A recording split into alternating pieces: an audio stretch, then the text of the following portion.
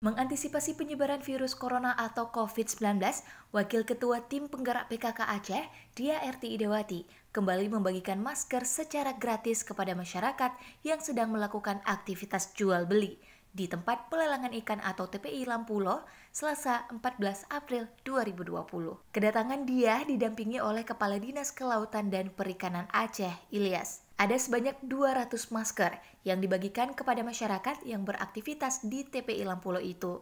Selain mengantisipasi penyebaran virus corona, pembagian masker juga dilakukan untuk memberikan kemudahan kepada masyarakat dalam mendapatkan masker yang mulai sulit didapatkan. Sebelumnya, kita juga sudah menyediakan tempat cuci tangan.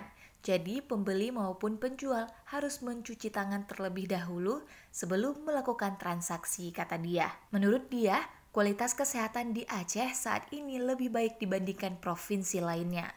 Per hari ini, kata dia, Aceh sudah tidak ada lagi pasien yang terinfeksi COVID-19.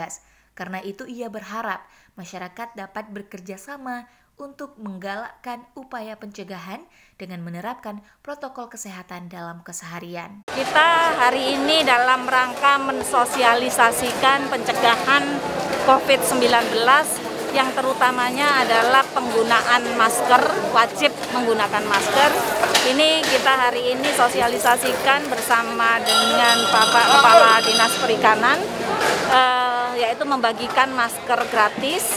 Tadi setelah juga menyediakan tempat cuci tangan, jadi semua baik itu penjual maupun uh, pembeli yang akan masuk itu udah cuci tangan dulu. Jadi selapis artinya ada proteksi diri. Dia juga berpesan agar semua menjaga jarak, memakai masker dan tidak berkerumun. Dengan begitu, besar harapan masyarakat Aceh bisa melewati masa sulit ini.